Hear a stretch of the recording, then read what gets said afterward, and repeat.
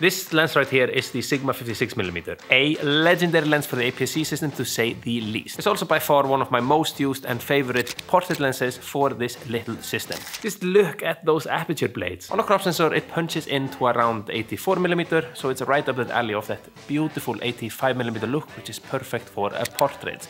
Also, it is f1.4, making it, you know, a bokeh, a beast to say the least, and also giving it, you know, good low light capabilities. It's a razor sharp, tiny, and yeah, I absolutely love it, you know.